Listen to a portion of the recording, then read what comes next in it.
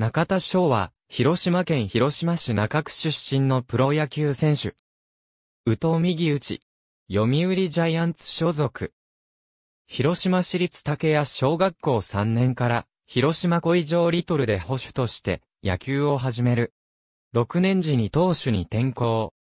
広島小以上、シニア時代は、連盟記録となる、通算51本塁打。広島市立国体児中学校3年時に、小以上シニアで、日本代表入り。エースで4番を務め、米国遠征で4本塁打を打ち MVP に輝き、世界大会準優勝の原動力となる。投手としても、時速 141km を計測した。中3時に、イベントで訪れた、ヤクルトスワローズ、山本五木投手と勝負して3打数に安打、シニアの県大会で、五立公園野球場で打った、場外本塁打は、隣接する五立神社の屋根を破壊し、神社から弁償を請求された推定170メートル弾だったと言われる。広島で過ごした少年時代は、当時の広島市民球場で、プロ野球選手になる夢を抱いた、広島東洋カープファンだった。子供の頃の実家の近所に、尾形光一宅があり、家に押しかけて、サインをもらったこともある。大阪桐蔭高校では1年夏には5番、一塁手で、レギュラーとなり、2005年の夏の甲子園、ベスト4に貢献。この時の3年生に、平田良介、辻内高成がおり、入学時から、この二人をライバルとして競争心を燃やしていた。また投手としても、最速時速 147km を計測。秋からエースで4番を任され、岡田忠里とバッテリーを組んだ。2年春には、時速 151km まで球速が伸びた。肩の故障で投手としては、活躍ができなかったが、4番、右翼手として出場し、打者として大阪大会新記録となる4試合連続本塁打、甲子園では推定飛距離140メートル弾、さらに秋季近畿大会準決勝の市川、高校戦で推定飛距離170メートルの本塁打を打つ。この頃から平成の怪物と呼ばれるようになる。3年生時の7月6日、全国高校野球大阪大会直前の練習試合、生野工業高校戦にて、当時の高校通算本塁打の新記録となる87本目の本塁打を記録。大阪大会の決勝では、エースの上松優友を擁する金光大阪高校と対戦し、投手としては初回に3失点、打撃でも厳しいマークに愛護打数無安打で、チームは敗戦して、甲子園出場を逃した。この大会では、本塁打は打てなかった。高校通算87本塁打、甲子園でも歴代7位となる4本塁打を打った。2007年10月3日のプロ、野球ドラフト会議においては、佐藤祐樹、唐川優己と並んで、高校ビッグ3と呼ばれ、北海道日本ハムファイターズ、阪神タイガース、オリックスバファローズ、福岡ソフトバンクホークスの4、球団から1位指名を受けて、抽選で交渉権を獲得した日本ハムに入団。11月6日、高卒新人としては、史上5人目となる契約金1億円、出来高5000万円、年俸1500万円で契約。背番号は同年オフに、現役引退した田中幸雄が着用していた6となった。2008年は守備位置としては、高校時代の投手と外野手ではなく、三塁手を志願にし、球団の育成方針とも一致したことから、二軍で三塁守備での練習を始める。しかし、同年6月に左手首を骨折した時は、トレーナー陣から、これで怪我をしても誰も面倒を見てくれないぞと注意を受けていた状態で1ヶ月近くも骨折を放置されていた。同年は一度も一軍に昇格することはなかった。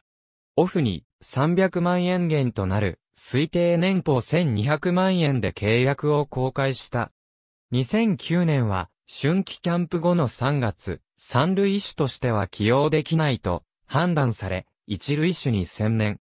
5月23日の東京ヤクルトスワローズ戦で7番指名打者としてプロ公式戦初出場、プロ初安打を記録。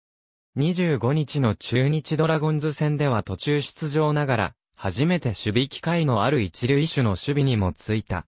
7月23日のフレッシュオールスターゲームでは、イースタンリーグ選抜の4番に座り、2安打2打点で MVP を獲得。同リーグ史上最多のシーズン本塁打30と、史上最多タイの打点95を記録し2冠王を獲得、打率も326でリーグ2位と好成績を残し、プロ野球コンベンション2009にて特別賞を受賞した。9月26日には一塁手としての先発出場も果たし、9月27日に、義ヒでプロ初打点を挙げた。また、日本シリーズにも、第3戦で代打で、初出場した。12月5日、現状維持となる、推定年俸1200万円で契約を公開した。一軍での出場機会を増やすため、シーズンオフより外野手へ転向した。2010年は長距離打者であるターメルスレッジの対談と、レギュラー左翼手だった森本木明が故障で離脱したこともあり、開幕戦で7番左翼手として自身初の開幕戦先発出場を果たし、杉内俊也から自身初の2点的自打を打つ。その後も主に相手先発が左腕投手の試合で先発出場し、左翼手の守備も無難にこなしていたが、4月18日の試合を最後に2軍落ちする。その3日後の21日の2軍の試合で、左膝半スキータを損傷。5月10日に手術を受けた。7月19日に1軍昇格。7番、指名打者として、先発出場し、復帰後初安打。翌20日の千葉ロッテマリーンズ戦にも先発出場し、大峰雄太から、プロ入り初本塁打を打った。8月6日の東北楽天ゴールデンイーグルス戦では、戸賀野正史と青山浩二から2打席連続本塁打を記録した。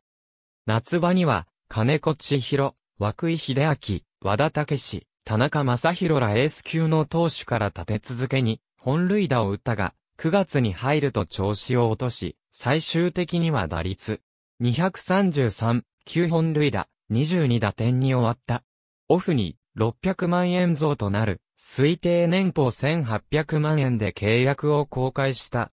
2011年は開幕から19打席無安打とスタートに苦しんだがその後は成績を伸ばし、小屋の A1 の離脱中は4番に抜擢されるなど、チームの主軸となり、初のオールスターゲーム出場も果たした。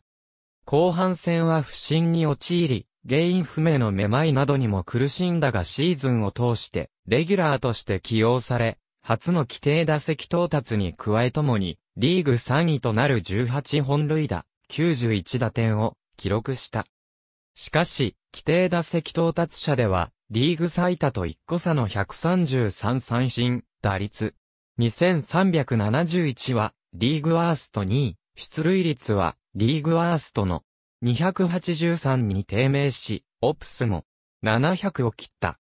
オフに2700万円増となる推定年俸4500万円で契約を公開した2012年、キャンプから足を大きく開き、やや腰を落としてほとんど踏み出さずに振る、ノーステップ打法を採用した。この年から日本ハムの監督に就任した栗山秀樹は中田を中心とするチーム作りの意向を示しており、4番、左翼手として開幕スタメン。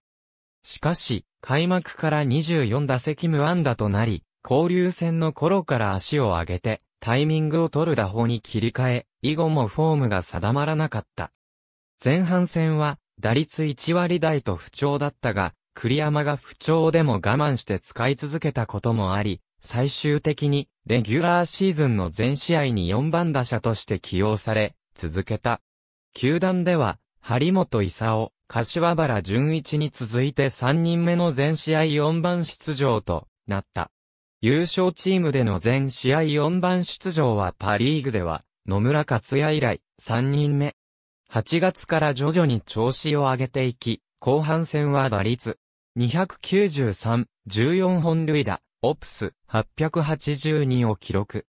シーズン通算では打率はリーグワースト3位の239、得点圏打率は198に終わったが、リーグ2位の24本塁打、リーグ3位の77打点を記録。先制打、同点打、勝ち越し打、逆転の祝儀安打30本、17勝利打点は、リーグ最多と、両極端な結果となった。内容的には、前年に比べて、三振を減らし、より死球を記録し、BB、K を向上させるとともに、リーグ最多得点を獲得した。また守備面では、外野手として、リーグトップの19補殺を記録し、そのうち9が併殺であり、中日の原田忠さん、松竹の岩本義行の外野手シーズン併殺数のプロ野球記録を62年ぶりに更新した。パリーグでは23年ぶりの2年連続リーグ最多補殺を記録。シーズン最後の連戦で連敗すれば2位西武に並ばれる9月28日の西武戦では2ラン、3ランを放ってチームの全得点を記録し、リーグ優勝に貢献した。ポストシーズンでは、クライマックスシリーズ、日本シリーズでも全試合4番として出場する。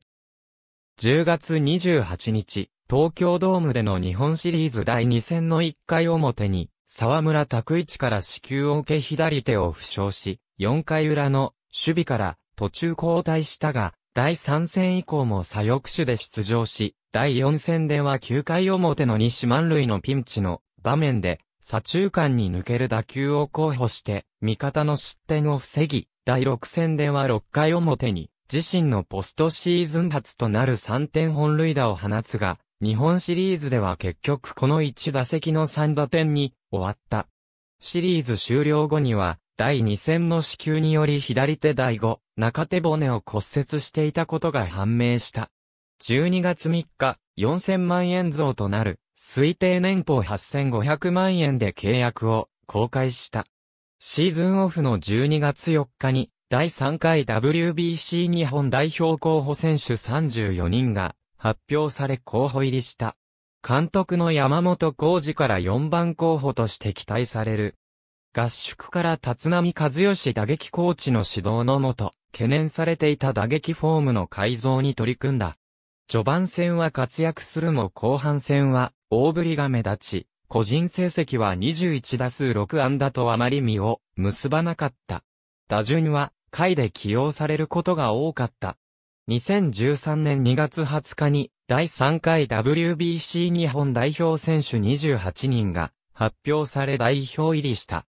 シーズンでは4番として開幕から活躍を見せ本塁打ではリーグトップを走っていたが8月21日の楽天戦の初回に、美馬学から左手甲に支給を受け、左手第5、中手骨亀裂骨折と判明し戦線を離脱。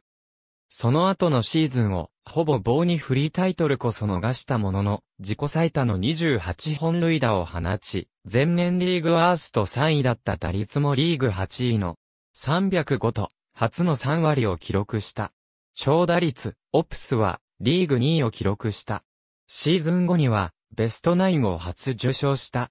オフの11月には、台湾で行われた、2013ベースボール、チャレンジ日本 VS チャイニーズ台北の日本代表に選出された。オフに6500万円増となる推定年俸1億5000万円で契約を公開した2014年は2年ぶりに全144試合に出場し、子宮の影響でスタメンを外れた7月の2試合を除く142試合で4番打者として先発した。新戦力として一塁手のフアン・ミランダが加入し、内野手登録として、キャンプからオープン戦序盤まで三塁手に再挑戦するも、シーズンでは、例年と同じく左翼手を守る機会が多かった。ただ、シーズン後半は一塁手を守る機会が増え、試合途中で左翼手から一塁手へ回る場面が多くなった。打率は前年より下落して269だったが、チームトップとなる27本塁打を放ち、2年連続で25本塁打以上を記録した。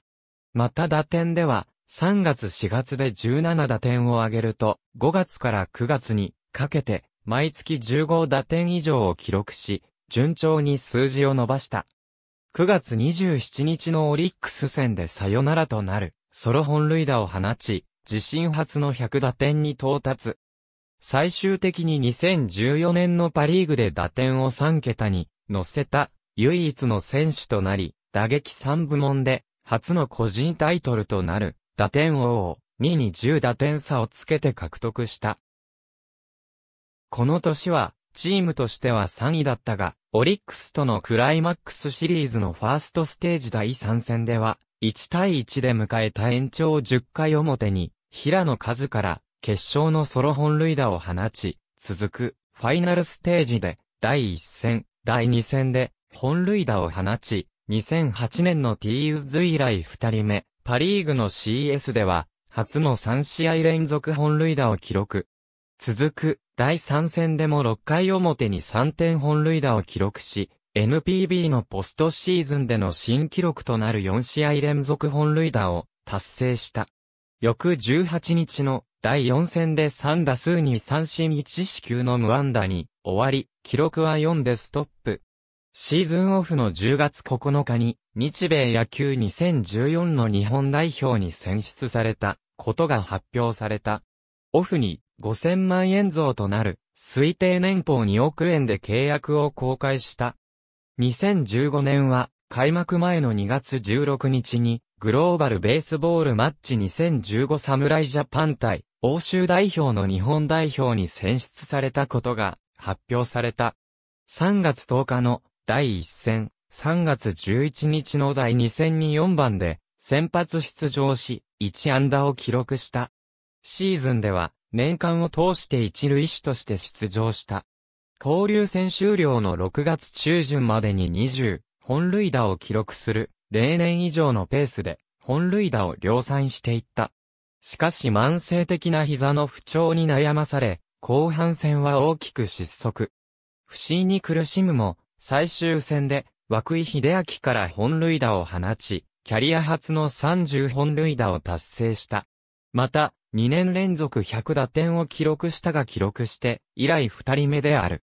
守備は、年間を通して安定し、初のゴールデングラブ賞を獲得した。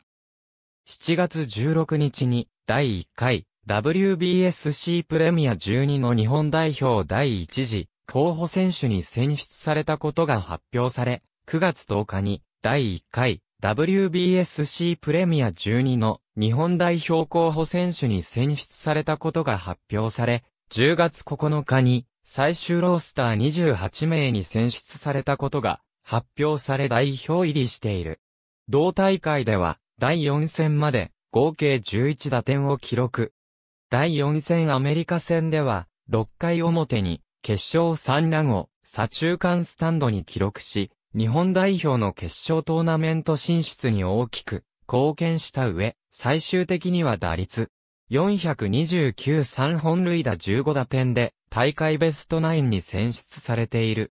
オフに4500万円増となる推定年俸2億4500万円出来高払いで契約を公開した。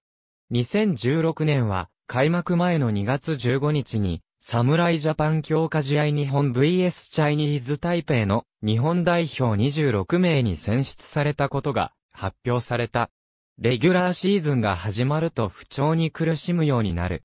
6月27日の埼玉西武ライオンズ戦では途中で代打を出され、その後の2試合では打撃不振のためスタメンから外れた。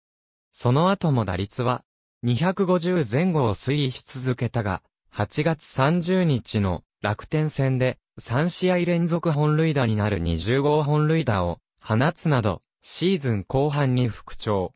最終的にはシーズンを通して4番打者に座り続けて、打率250、25本塁打、110打点を記録。打率、本塁打こそ前年を下回ったが、打点は自己ベストの成績になり、3年連続の100打点を達成して打点王を獲得した。また一塁手として最多の守備機会に関わり、2年連続のゴールデングラブ賞を獲得、ベストナインにも選出された。このシーズンに本塁打数がそれほど伸びなかった背景には、ブランドン・レアードに本塁打の量産を任せて自分はチーム打撃に徹するという考えがあり、シーズン前半には野球専門媒体がそのように報じていた。10月18日に侍ジャパン野球オランダ代表野球メキシコ代表強化試合の日本代表に選出されたことが発表された。4年ぶりの出場となった広島東洋カープとの日本シリーズでは4年前と同様に全試合4番打者で出場する。第3戦では8回裏に逆転となる2点敵時に、塁打を含む3打点を挙げると、第4戦では6回裏に同点に追いつく、ソロ本塁打を放つ。そして日本一に王手をかけた第6戦では、同点の8回表に西満塁から押し出し死球を選び、これが日本一を決める決勝点となった。自身初の日本一を経験するとともに、優秀選手賞に選ばれた。12月1日、3500万円アップの推定年俸2億8000万円出来高払いで契約を公開した。2017年は第4回 WBC 日本代表に選出。4番は筒香義友に譲ったが、欠場した2次ラウンドのイスラエル戦を除き筒香の後ろの5番打者に座った。1次ラウンドオーストラリア戦では勝ち越しソロ本塁打を放ち、2次ラウンドオランダ戦では、リック・バンデンハークから1次勝ち越しの3点本塁打を放つと同点に追いつかれた後の延長11回に勝ち越しの2点的自打を放った。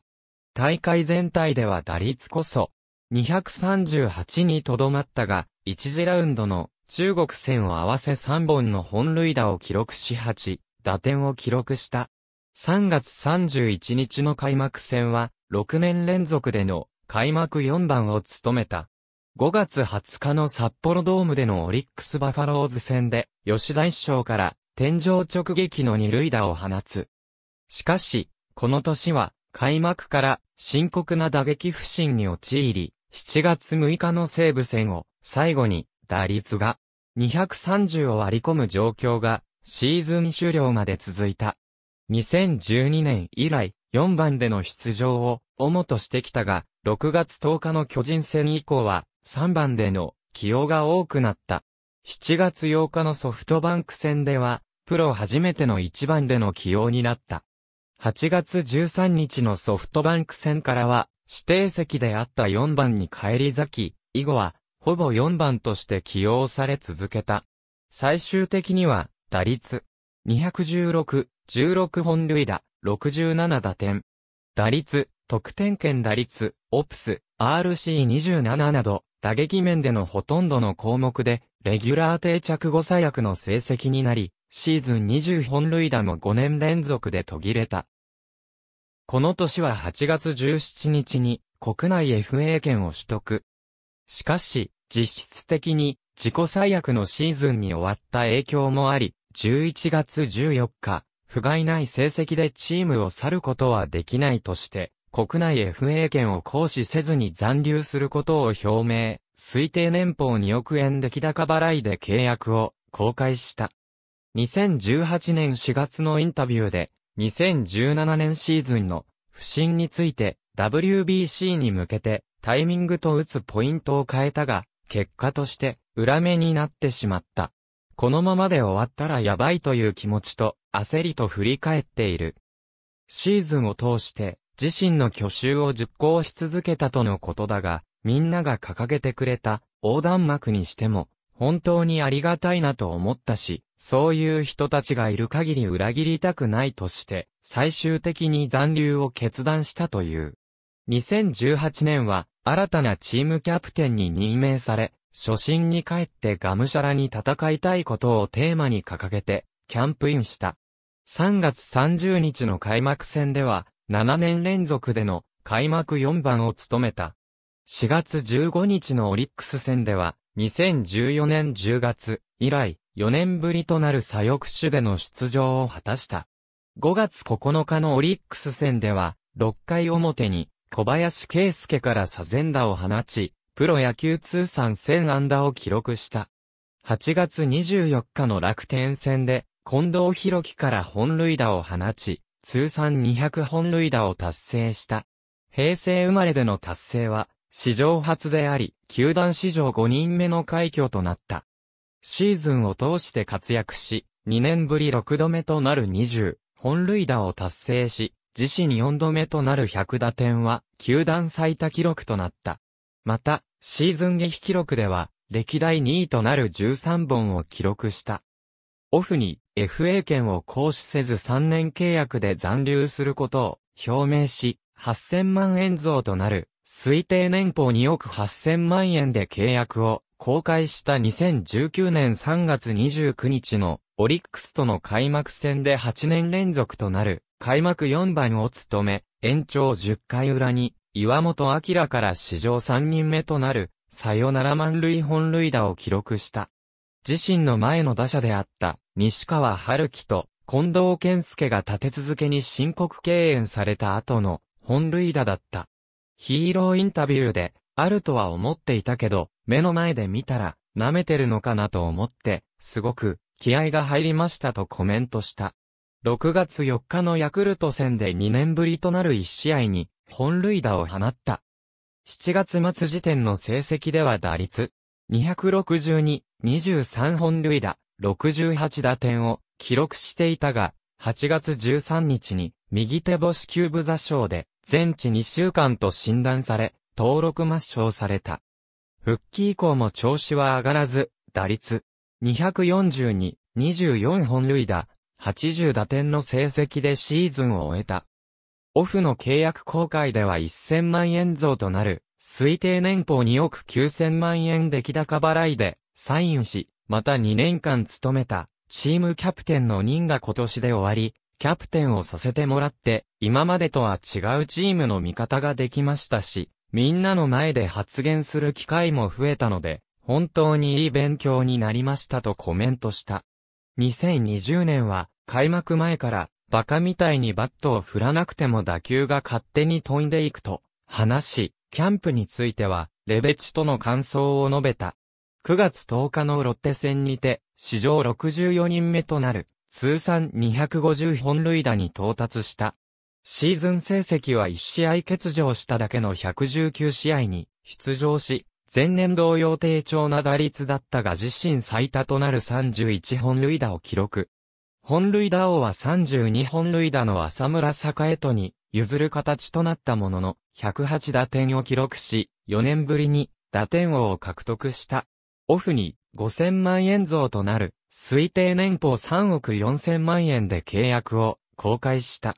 2021年は前年とは一転して、調子の上がらないまま春季キャンプを終え、取材陣に対し、今年は、ちょっと、あんま良くないですね。ゴミですと不安を吐露した。開幕後も調子は上向かず、4月7日の対、ソフトバンク戦では3度の後期で、凡退、5回裏の打席で三振した後には、悔しさから、ベンチ内でバットをへし折った。さらに、苛立ちから試合外で転倒し、右目の上を負傷。その影響から、6回の守備から交代となった。監督の栗山は、取材に対し、中田のバット折りについて、ベンチでやるな、後ろでやれと言っている。見ている人で不愉快な人もいると、負傷について、試合中に、野球以外のところでつまずいたりするのは、なしでしょ。いなくなるのは責任を果たしてないだろうと厳しい口調でコメントした。翌日の試合は欠場したが、9日のオリックス戦の試合で先発出場に復帰。打撃では内野ゴロでも相手の野手選択を誘った全力疾走を行ったり、守備では補給こそできなかったもののファウルゾーンへの小フライに対して躊躇なく飛び込むなど、気合の溢れるプレーを見せた。開幕17戦で本塁打0だったが、4月17日の大楽天戦の1回に8年ぶりの NPB での登板だった田中正宏から先制2ランとなるシーズン第1号を打ち、さらに6回に牧田和久から2号ソロ本塁打を打ち、田中の NPB での連勝記録を28で止めた。しかし、その後は本調子とまではならずに、打撃不振が続き、自ら2軍での再調整を希望して5月17日に出場選手登録を抹消された。抹消後しばらくは、試合には出場せずに、室内練習場での再調整を続け、6月1日の2軍公式戦で実戦復帰。4日に1軍に復帰した。しかし、1軍復帰直後の8日の大阪新戦の第2打席で三塁ゴロを放って一塁を駆け抜けた際に、右腰付近に違和感が生じ、途中交代。駆け抜けた後は、立ち上がれず担架で運ばれて退場し、急性腰痛で復帰まで3週間かかる見通しとの診断だったため、翌9日に出場選手登録を抹消された。手術は選択せず39試合の出場で打率。19-3-4本塁打、13打点、オプス577という成績で前半戦を終えた。腰への負担を軽減させるために体重を約 10kg 減量させ、7月27日、エキシビションマッチの対広島戦で一軍復帰を果たした。しかし8月4日に、口述の暴行事件を起こしたことにより、同月11日に、球団から出場停止処分を課され、解除日未定の出場停止選手として公示された。2021年8月20日に野球協約第105条に基づく無償トレードで読売ジャイアンツへ移籍し、日本ハム球団から課されていた出場停止処分も同日をもって解除されることが発表された。背番号は同年に入団したジャスティン・スモークが着用し、途中対談により空き番号となっていた10となった。同日午前に、球団事務所で会見を行った後、午後には一軍のチーム練習に合流し、翌21日には、出場選手登録された。同日の対 DNA 戦で、大城拓造の代打として移籍後初出場。翌日には5番、一塁手で、先発出場し、今永翔太から移籍後初安打となる2点本塁打を放った。しかし、その本塁打以降は、長打がほとんどなく、打点も上げられず、打率は1割台と低迷。全力疾走せず原辰則監督が怒る一幕が見られた試合もあり、9月11日に登録を抹消された。二軍では、長島茂雄終身名誉監督からの直接指導や、安倍晋之助二軍監督とのマンツーマン指導などを受けた。二軍戦6試合に出場し、打率504本塁打、13打点と圧倒的な成績を残し、9月21日に最短で1軍に復帰したが、再昇格後も24打数に安打と1軍では打撃が振るわず、10月1日に移籍後2度目の登録抹消となった。同12日に再び1軍へ昇格し、同日の阪神タイガース戦では代打安打を記録したものの移籍後は34試合の出場で打率154、3本塁打、7打点という成績に終わった。リーグ3位で迎えた CS でも、計2試合の代打出場にとどまり、チームのファイナルステージ敗退が決定した11月12日の試合では、最後の打者として空振り三振に倒れた。契約公開では減額制限を超える56%減の推定年俸1億5000万円でサインをした。2018年1月29日に、チームメイトの西川春樹、井口和友、松本剛と共に、アメリカ国内のスーパーマーケットターゲットで買い出しに出かけている様子を中田が解説したばかりのインスタグラムに投稿したところ、その中に中田と西川がショッピングカートに乗ってはしゃぐ迷惑行為を行っている写真があり、その写真に対して非難の声が集中し炎上する騒ぎとなった。2021年8月4日、エキシビションマッチ対 DNA 戦の開始前に同僚選手1名に対してベンチ裏で暴力行為を行っていたことが判明し、試合中に球場からの退場と自宅謹慎を命じられた。同日の試合では、中田は4番で、先発出場して、1回に、先制の敵時二塁打を放っていたものの、直後の2回の守備から交代させられていた。球団による詳細な調査の結果、被害選手よりこのことを大事にしたくない旨の申告があり、中田本人が深く反省しているという諸事情を踏まえてもなお中田の行為が統一選手契約書第17条に違反し、野球協約第60条の規定に該当するものと、球団は認定。11日、球団は中田に対して当面、1軍、2軍すべての試合の出場停止処分を課すことを発表し、同日付で出場停止選手工事がなされた。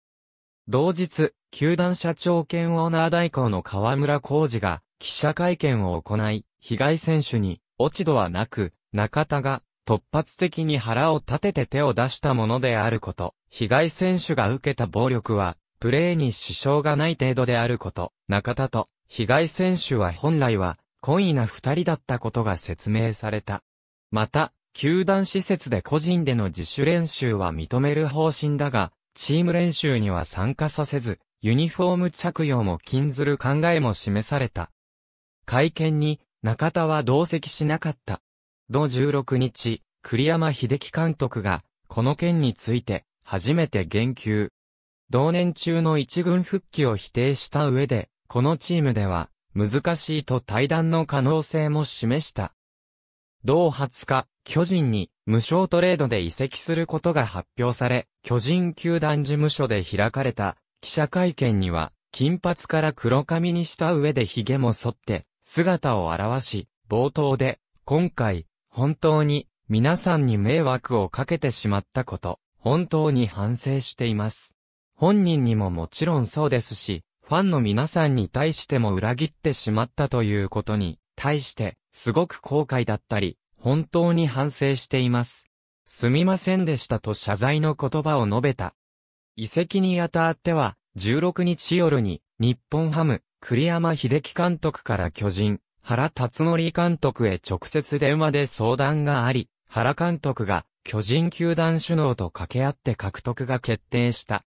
無償トレードとなったこと、日本ハムから課された出場停止処分が9日間で解除され巨人ですぐ一軍戦に出場したこと、日本ハム主導での謝罪会見が開かれなかったことなどに対し賛否を呼ぶ出来事となった。中田のスイング高校時代に推定飛距離170メートルの本塁打を放ったこともある長打力を持ち味とし、体勢を崩されても打球をスタンドに運ぶことができる。初球から積極的に振っていくスタイルで、支給率は通算6.7%と平均的だが、反面、2011年には、ボールゾーンのスイング率が30%を超えるなど、選球眼に難があった。こうした選球眼の悪さが課題にあったものの、口述のガニ股大砲などの変遷を経て、徐々に死球数、三振数、バットコントロールを改善していった。2014年頃からは緩急をつけるようになり、ツーストライク時や得点圏で確実に1点が求められる場面によっては、足をわずかに上げミート重視のコンパクトな打撃に切り替えることが多くなった。本人も打点へのこだわりを述べている。その影響からか、イソプは2013年にリーグ1位の0.246を記録して、以後の4シーズンは0.186-0.215、0.181-0.150と、長距離打者としては、比較的抑えられた数値になっている。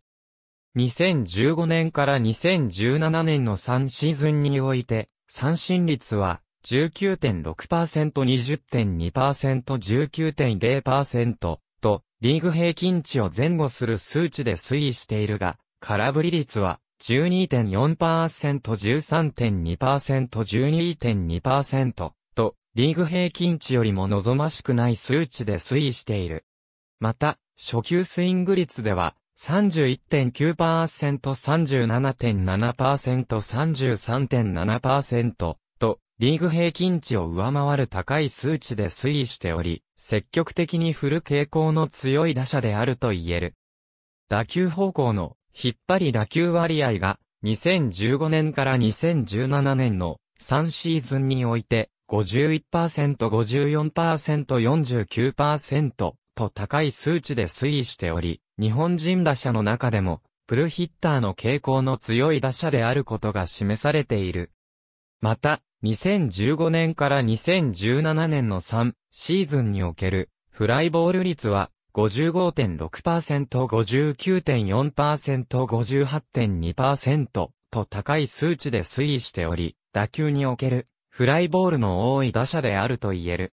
中田の打撃フォーム打撃フォームの変遷が激しく、2011年には、選球眼の改善を試みるため、脇を締めて、足をガニ股に開くノーステップ打法に取り組んでいた。しかし、下半身に負担がかかるため後半戦からはガニ股をやめ、当時の打撃コーチであった、福良純一やチームメイトだった、稲葉厚式からアドバイスを受けながら、すり足打法に取り組んだ。この年のオフには、ケビン山崎の指導を受けて、下半身を強化し、ガニ股打法を1年間継続させることを目指したが、翌2012年は5月まで打率169と不振に陥ったため、同月下旬からは、福良の指導を受け左足を軽く上げるオーソドックスな打撃フォームとなった。栗山秀樹の監督就任後の2012年から、ほぼ一貫して4番打者として起用され続けているが、栗山曰く、中田を4番として起用し続ける理由として、自分の中の感覚だけど、いつも調子が悪くても、球の強い投手が来ても、絶対に打てる可能性をいつも感じさせる選手。特別なタイプの投手を打てないというのはダメ。どんな投手が来ても、いつも期待できる選手でないと4番を張れないし、何とかしてくれる可能性をいつも感じている打者だから、調子が悪くてもバットを振るし、その可能性が高くないと、チームを背負えないのでという趣旨のことを述べている。疑秘の多い選手であり、特に2018年シーズンは、歴代単独2位となる13本を記録した。2020年時点で、シーズン100打点を5度記録している。本人も打点に強い関わりを持っており、2019年のオフには、打点でもっと貢献したかった。俺は、ホームランを30本、40本打ちたいという欲よりも、毎年100打点打ちたいという欲の方が強い。打点の方が直接の貢献度が大きいと、個人的に思うから。ホームランは、調子が良ければ、ポンポンと出るもの。打点というのは、場面、場面でみんなが作ってくれるチャンスなので、バンとして犠牲になってくれている奴もおれば、スチールして一本で帰れる状況を作ってくれる奴も、いる中での打点なんでね。同じ一点でも重みが違うかなと思うとコメントした。足は特別速いわけでもなく、一塁到達は4.3秒台で、ある。高校生時で50メートル走のタイムは6秒2。第4回 WBC では、キューバ戦で盗塁を記録している。入団当初は三塁手と一塁手で起用されていたが、出場機会の増加や強肩を活かすため、2010年からは、左翼手として起用されるようになった。怪我の影響もあり、2015年からは一塁手に再転向している。また、2014年には三塁手へ再転向が提案されるも、守備の悩みから打撃に悪影響を受け開幕は左翼手となり、結局同年の三塁手としての出場はなかった。2019年にも三塁手転向プランがあったが、結局三塁手としての一軍出場はないままである。外野手としては、チームメイトだった小屋の栄一から時速 150km くらい出ていると評され、高校時代に投手として最速時速 151km を記録した強肩に加え、正確な送球を持ち味とし、2011年と2012年には外野手としてリーグ最多の補え札を記録、糸井義雄、非対抗と共に、球界屈指の外野人と呼ばれるようになった。2012年には、左翼手で、両、リーグトップのウザー23.7を記録した。一塁手としても、ゴールデングラブ賞を4回受賞しているように評価が高い。非常に柔らかいハンドリングやスローイングの正確さと強肩に定評がある。ありがとうございます。